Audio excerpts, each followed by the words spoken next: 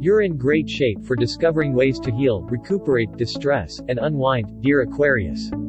You may feel a sense of inner peace and balance now, and dealing with complex emotional matters can be more natural or comfortable than usual. Your understanding helps you connect with others more readily. Today and tomorrow are useful for rectifying problems or misunderstandings. It's also a time for paying more attention to emotional needs and support systems.